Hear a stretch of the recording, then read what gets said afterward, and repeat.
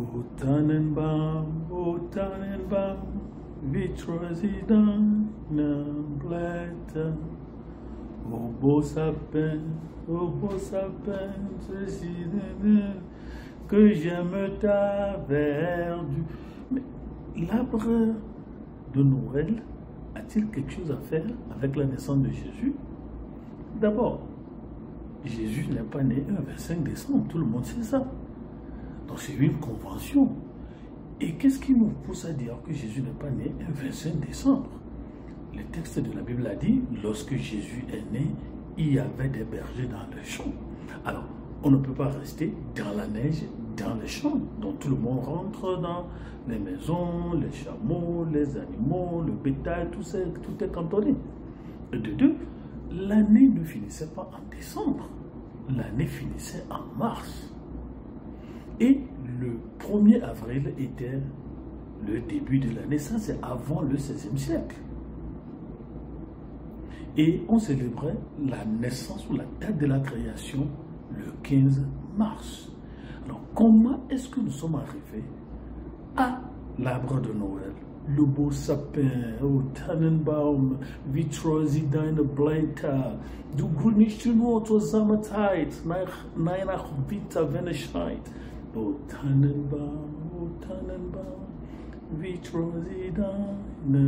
En fait, ce problème ne veut pas dire que ceci et cela parce que euh, Paul nous a déjà dit que bon, on peut célébrer Jésus n'importe quel jour. On peut aller à l'église n'importe quel jour. Donc le problème ici, ce n'est pas de trouver de l'idolâtrie dans ce que les gens font, ou bien remettre en cause ce que les gens font, mais qu'est-ce qui s'est passé Et quel est le rapport que l'arbre de Noël réellement à faire avec la naissance de Jésus Alors, nous allons remonter dans le temps et nous irons avec Nimrod. Nimrod, vous savez, la Bible dit, il fut le premier, le plus puissant sur la terre premier monarque sur la terre, il est le premier à fonder des royaumes, il est le premier à asseoir un empire au monde, ce qu'on appelle l'omniterranée, c'est-à-dire un royaume planétaire. Alors, on nous a dit qu'il a construit d'abord Babylone et qu'il avait pour capitale Babel. Selon Bevan, dans son article dans Smith Dictionary, on nous affirme que les fouilles archéologiques de l'Aïa et de Lotus prouve que le vaste grand empire asiatique babylonais est premièrement d'origine couchite. Même le nom Nimrod apparaît dans la liste des rois de l'Égypte. Alors, deuxième empire qui a quatre villes, nous avons Assyrie. Assyrie qui a pour capitale Ninive.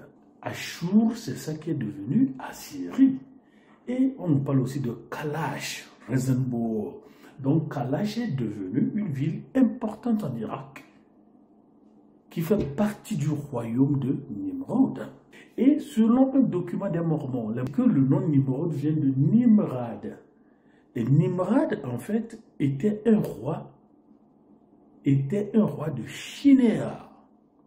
Shinéa, qui est de la Mésopotamie, et Mésopotamie qui veut dire les deux fleuves, entre les deux fleuves, c'est-à-dire le Tigre et l'Euphrate. Et nous dit-on que le royaume, le royaume par computation euh, large, ou bien ce qu'on appelle les données euh, euh, numériques, les données informatiques, ça faisait 200 km carrés, soit 10 fois la ville de Londres. Ça, c'était le royaume de Nimrod. Donc, selon un document consulté, Nimrod avait une femme qu'on appelle Séminaris séminariste, on dit qu'elle est issue d'un gros E, œuf. Et on l'appelle Samourama. Samourama voudra dire la régente reine de l'Empire assyrien. Ça, c'est de 811 à 806 before Common Era, c'est-à-dire avant notre Seigneur Jésus-Christ, qui a tenu le trône jusqu'à ce que son fils Adanirari III deviennent matures. Certaines sources nous disent que Séminaris est l'arrière-petite-fille de Noé et mère et femme de Nimrod. Quand on dit petite fille, c'est l'enfant de quel enfant de Noé Ou c'est l'enfant de quelle fille de Noé? Euh, Ézéchiel 8, verset 14 à 15, on vous parle de Tammuz. Tammuz est le fils de Nimrod qu'il a eu avec euh, la séminariste ou bien Samourama, qui est la régente reine de l'empire assyrien. Alors, Tammuz, quand vous lisez, on nous dit que Nimrod a été déifié à sa mort et c'est Nimrod qui est devenu Baal. Exode 32.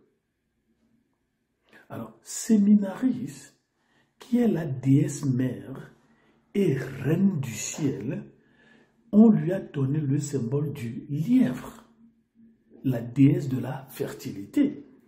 Donc, ici, dans les Occidents, lorsqu'il y a Pâques, vous allez voir, on fait des cadeaux sous forme de lièvre. En fait, c'est une histoire cachée dans l'histoire. C'est un, symbole de la reine séminariste qui est une déesse mère et qui est aussi le symbole de la reine du ciel. Alors, sous le nom, vous avez le nom Ishtar, Eostré, Astarté ou Ostera. Et c'est comme ça qu'on a eu le mot Ishtar. Alors, Nimrod et Tammuz, Nimrod, notre euh, africain, le premier monarque de la terre, le premier guerrier de la terre ou le plus vaillant de la terre, il a eu un fils qu'on appelle Tammuz. Et Tammuz est devenu un enfant habité par l'esprit de son père. Donc quand vous allez dans Révélation chapitre 13, le deuxième verset de Daniel, on vous parle aussi d'une fausse trinité. Donc vous avez Nimrod qui devient une puissance démoniaque derrière Tammuz vous avez Séminaris qui est la fausse prophétesse et vous avez Tammuz qui est le faux Christ. Faut bien suivre. Alors, à la mort de Tammuz, on le célèbre en jetant un tronc d'arbre dans le feu pour le laisser brûler toute la nuit. Donc après, on célèbre la résurrection de Tammuz en décorant un arbre. Et l'arbre là, on l'appelle Yule Log. Et c'est ce qu'on nous a ramené alors dans les traditions de Noël. L'arbre de Noël n'a rien à faire avec la naissance de Jésus. Pourquoi? Lorsque Jésus était né, il n'y avait même pas d'arbre. Il n'y avait même pas de place. On nous dit qu'il est, né dans une, c'est une mangeoire. Oui, voilà. Alors, lorsque nous célébrons la naissance de Jésus, Noël, tout ça, d'abord, il n'est pas né le 25 décembre, et on nous parle de Tannenbaum, sapin, arbre de Noël. Sachez que c'est une ancienne tradition d'un Tammuz qui est le fils de Nimrod, qu'il a eu par sa femme séminariste, qui est la reine déesse mère, qui est devenue Ashtarté, Astarté, et voilà ce qui se passe et le chrétien a besoin de savoir. Qu'est-ce que je fais le jour dit de la naissance de Jésus? Est-ce que c'est l'arbre qui importe? Qu'est-ce qui se cache derrière cette tradition que nous aimons bien faire pour ne pas parler de la commercialisation de la naissance de Jésus? Alors d'une fausse trinité. Vous avez Nimrod, vous avez Séminaris et vous avez Tammuz. Et dans certains de ma cours, on nous a dit que ce Dieu Tammuz existait en Égypte. Et les, les Israélites étaient allés prendre le Dieu là, qui sont venus déposer dans le temple de Dieu. Et ceux qui lisent la Bible, on va vous dire que le Seigneur partit du temple. Et c'est lorsqu'on a amené ce Dieu, Tammuz, qui est la fausse résurrection, le faux Christ, qu'on a ajouté au temple du Seigneur, que le Seigneur quitta son temple. Donc le Seigneur ne se trouve plus dans le temple, il se trouve dans le Saint-Esprit que nous avons dans nos cœurs lorsque nous acceptons Jésus-Christ. Et il me dit, fils de l'homme, vois-tu ce que font dans les ténèbres les anciens de la maison d'Israël, chacun dans sa chambre pleine de figures. Car ils disent, l'Éternel ne voit pas, l'Éternel a abandonné le pays. Et il me dit, tu verras encore d'autres grandes abominations qu'ils commettent. Et le verset 14 qui nous intéresse dit, et conduit à l'entrée de la porte de la maison de l'Éternel du côté de septentrion. Et voici, il y avait là des femmes assises qui pleuraient Tammuz. Et il me dit, vois-tu, fils de l'homme, tu verras encore d'autres abominations plus grandes que celle-là. Donc, voici ce qui s'est passé. On a pris cette figurine de Tammuz qu'on est venu déposer dans la maison de l'Éternel qu'on adorait. Donc, ces femmes israélites s'ajoutaient à Séminaris. Donc, ils pleuraient la mort de Séminaris, de son enfant Tammuz, et on faisait ça dans le temple de l'Éternel. Alors, vous faites quoi? Noël, Noël, c'est tout? Mais quel Noël? Tous les jours peuvent être les jours de naissance de Jésus. Ça, c'est ce que Colossiens nous dit. Nous ne sommes plus coupables, victimes de quelque date que ce soit, mais quelle est la vérité historique? Sémina, nous, euh, et, et, Nimrod, Nimrod fut déifié à sa mort. Et c'est lui qui est devenu Baal. Vous vous référez à Exode 32.